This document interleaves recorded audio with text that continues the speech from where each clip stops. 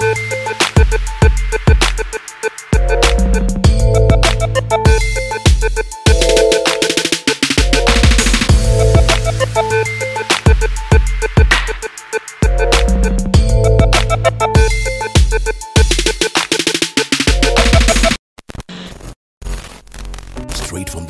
All right, good day, ladies and gentlemen. Of course, my name is Omojesu Alfred, and this is Katalambano with the boss of all bosses. And of course, we have Apostle right there with us on set. Apostle, how's everything, sir?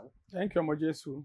Lord ah. bless you. All right, before we proceed, I would like to say Happy New Month because this is actually the first time we're seeing this month. But I want to say Happy New Month. Welcome to the month of August. Yes, whatever country you're watching me from, whatever city, uh, whatever territory, okay, whatever community, whatever compound. Okay, there's something they call compound. There are some areas they call yard. There's a difference between a compound and a yard. But whatever place you're watching me from, I want to say happy new month and welcome to the month of August. Uh, today, uh, I'm so excited. I'm so excited. I'm so happy because the topic we're treating today has been one of the major topics that I've got a lot of Christian thinking and also got a lot of people talking. And I know Apostle is fully, fully ready for it. Um, the old, the old, the old concept of Christian going to club, the old concept of Christian clubbing all right the bible talks about sin and it also talks about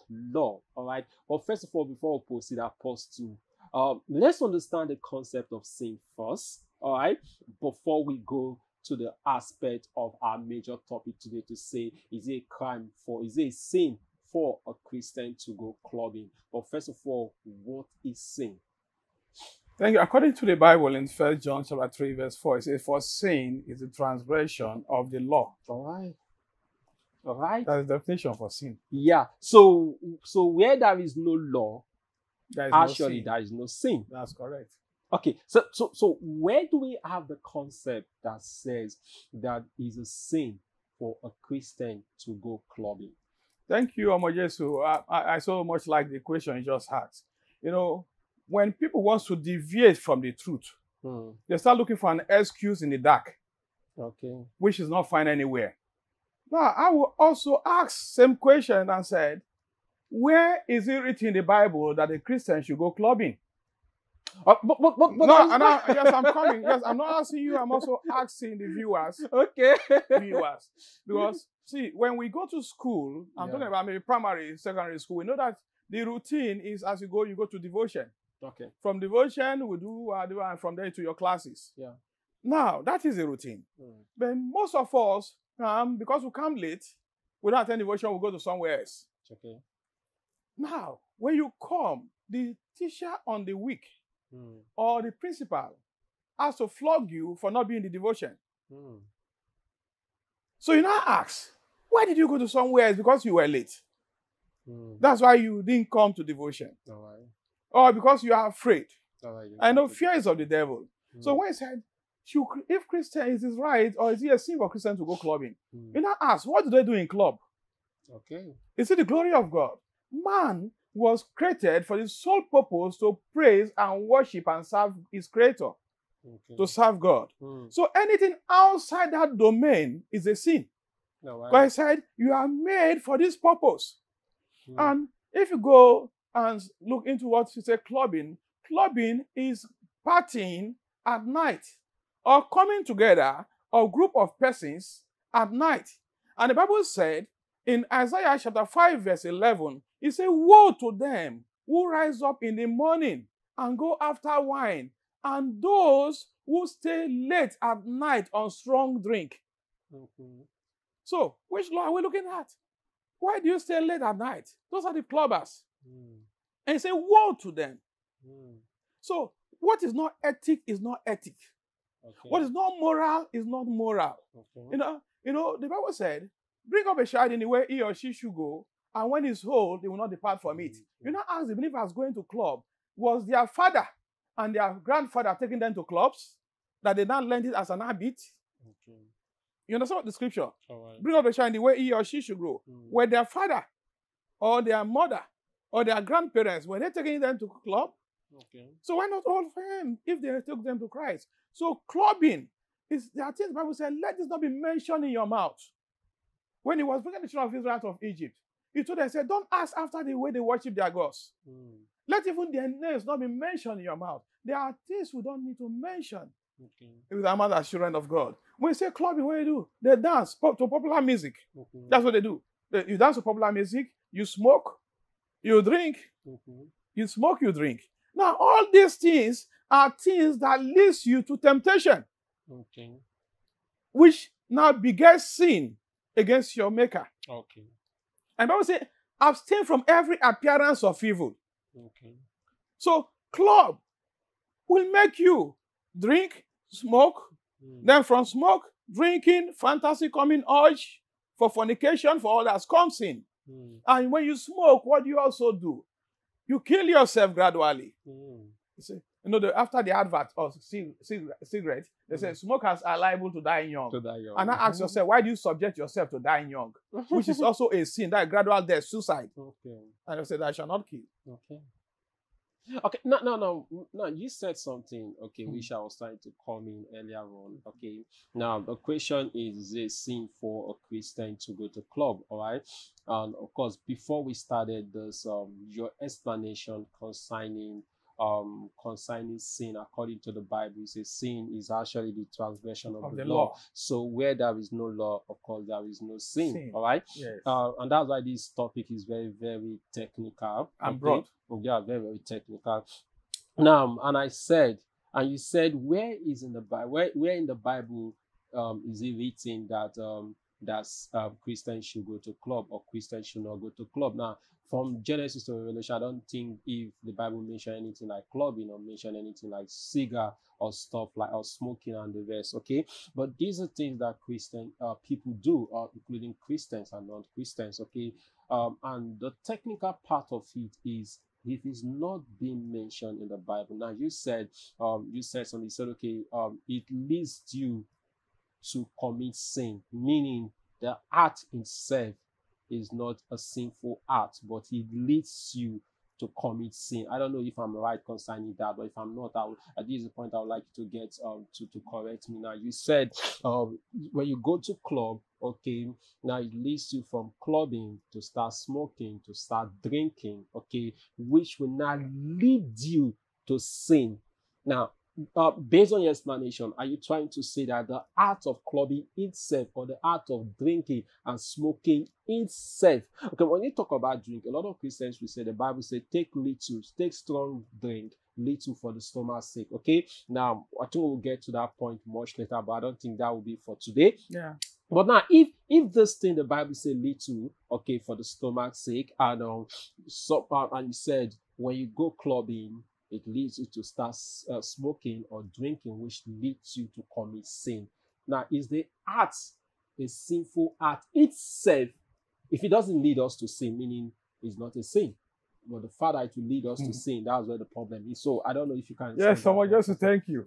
Mm. Whichever way one tries to paint white is white. All right. And whichever way one tries to paint black is black. Okay. Now remember that Christ told us So that they said in the Old Testament that thou should not commit adultery. yeah. Now that is a sin. Okay. Also- Yeah. But he now told us, he said, but even looking at a woman lustfully, Mm. that you've already committed the act Okay. of adultery. All right. So you are trying to explain the sin and the acts that leads to sin. That leads to sin. So I'm also trying to explain by the scripture what Christ said that even looking at the woman lustfully, okay. you've got so it is not it's, not until when you sleep with a woman, Mm, but looking at her lustfully in your heart, mm, which means acts and offense are the same. okay. Because you've not committed, say you're just looking at the woman. So you go into club. And let me tell you, when they said, where in the Bible? It was, the, God has given us 614 laws Mm, in the Bible is so enormous and so large and so broad that we are not even able to keep.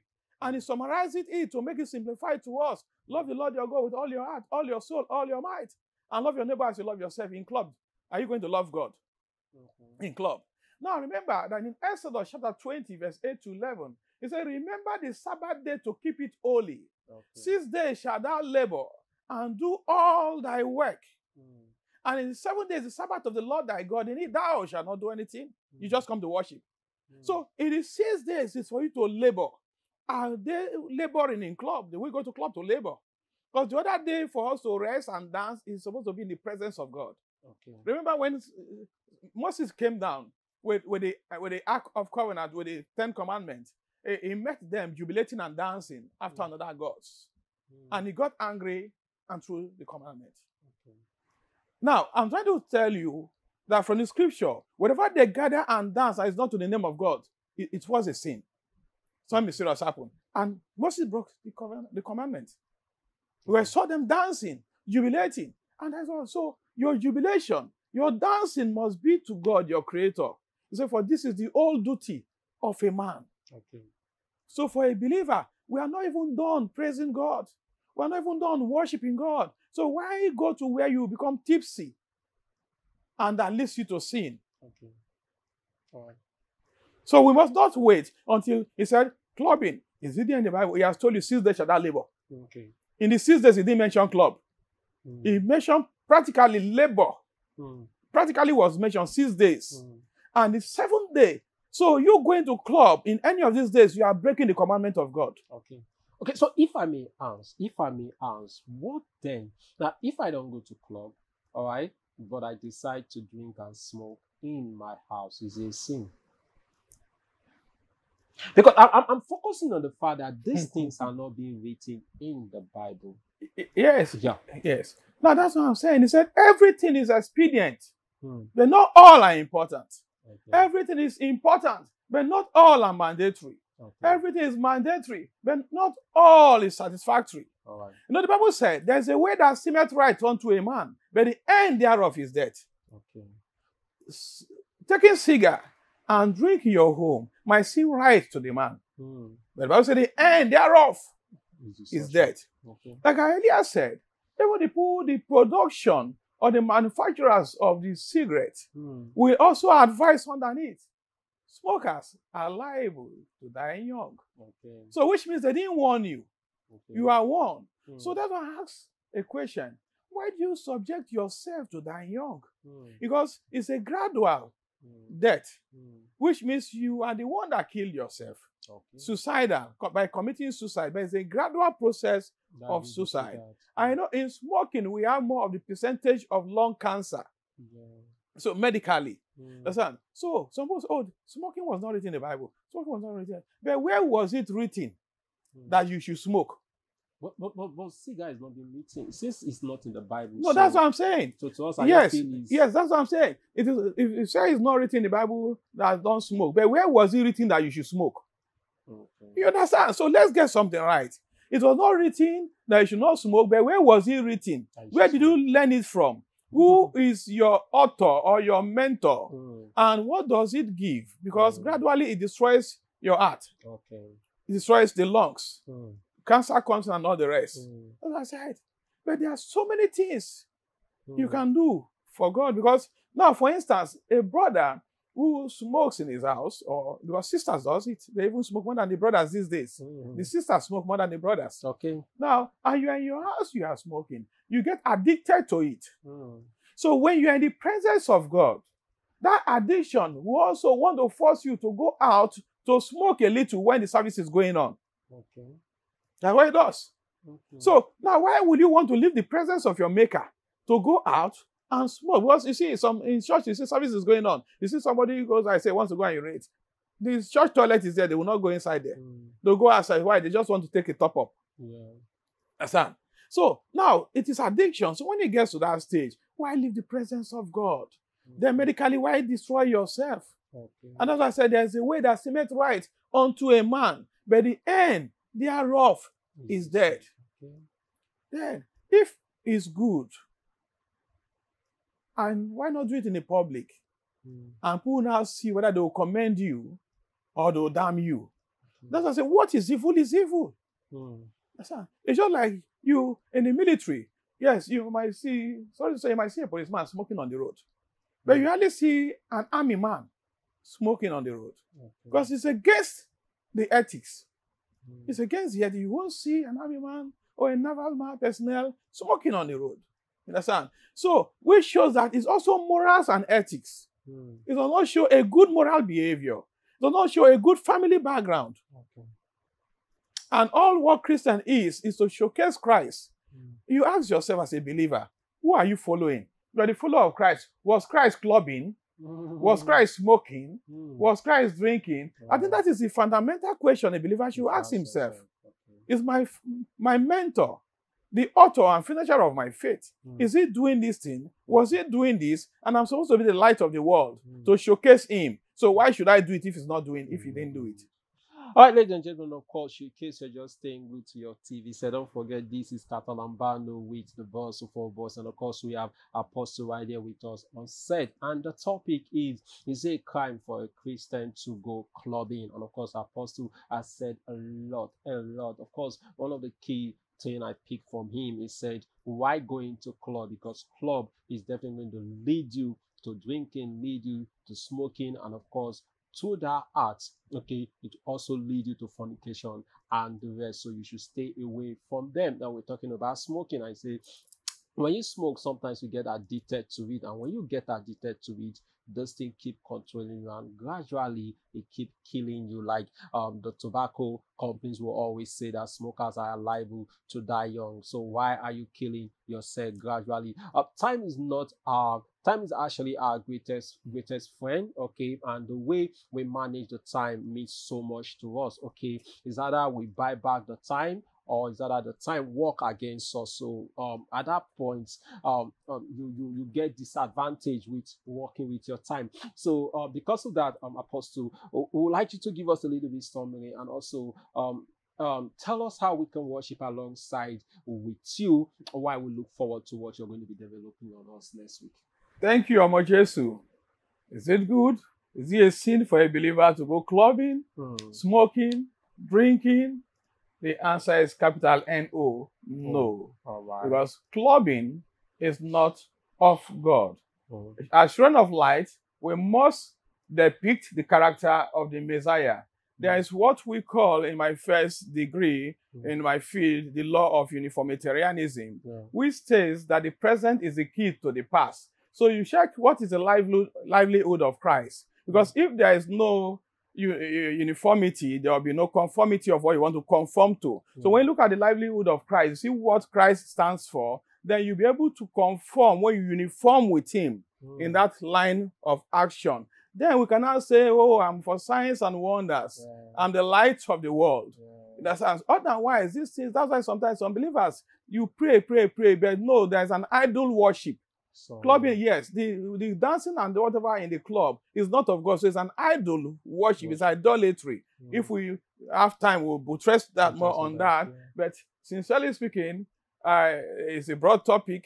But if you're as a believer, you have nothing to do with club. Six days shall you labor and do all your work, and the seventh day in the presence of God. So Mm. if you have a time you go for clubbing, that means you're also breaking the law of God. Six Mm. days shall you labor, labor, Mm. labor. They don't want to labor; they want to enjoy. Our enjoyment is in Christ. Mm. It's in the house of God. Mm. We are a Touch from God Ministries. Look at that number seven Ministry in that street. Limbo, Port Harcourt. Our days of services are Tuesdays, Mm. 8 a.m. to 12 noon is our fasting time, and from 12 noon to 4 p.m. is our counseling period. And every Friday is an evening with the Lord, 6 p.m. to 8 p.m. With an exception for every second and last Friday of every month, which is tagged a night with God. It's a Tarry night, a night of signs and wonders, healings and miracles. A night you come, you don't go back the same. An extraordinary night. Come expectant and you won't go back the same way. And our Sunday services are Sunday's first service, 8 a.m. to 10 a.m. Second service, 10 a.m. to 12 noon. Come expectant and you won't go back the same. The Lord bless you.